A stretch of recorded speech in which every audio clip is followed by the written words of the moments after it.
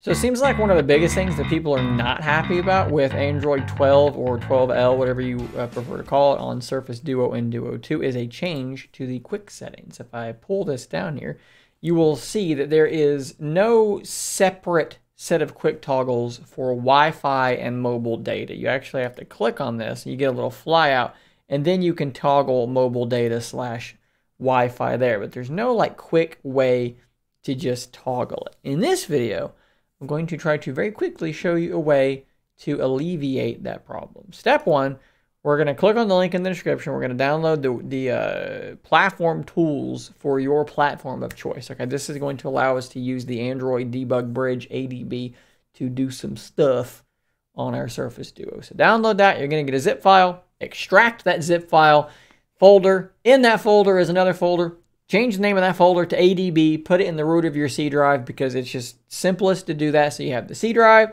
folder called ADB, and then the files that are in that in there. I've shown this a couple of times. Hopefully that is uh, detailed enough. If not, maybe I'll link to another video where I talked about doing this for another thing and then I'll help explain it. Anyways, that's where we should be now. So now what we're going to do is we're going to hit start and type in CMD and hit enter to launch the command prompt. We're then going to type in CD C colon slash ADB, and there's there's your reason right there for why we changed the name and put in the C drive. It just makes that process like 50 times easier. Back on our phone, we're going to plug our device into our computer. You do need to make sure that you have developer options enabled and that ADB debugging is enabled. So if you haven't done this, go into our settings. We're going to go to About.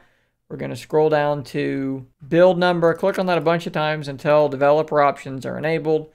Go into system and then developer options and make sure that ADB debugging, sorry, USB debugging is enabled. Once you plug it in, you should get a pop-up on your phone that will ask you if you want to enable or to allow, I should say.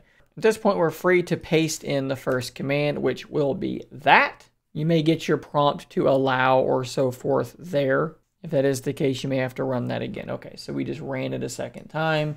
Should be okay. Now we're going to paste in the next command.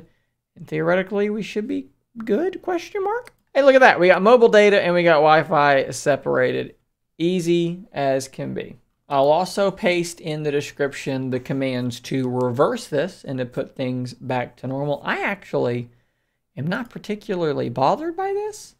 So I'll tell you what, I'll reverse mine live here and you can see it go back. So the first command, all we got to do is just change that to true.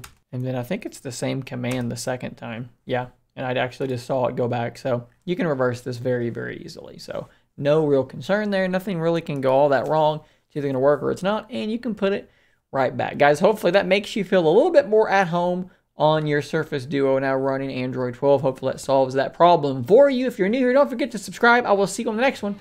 And until next time, stay nerdy, my friends.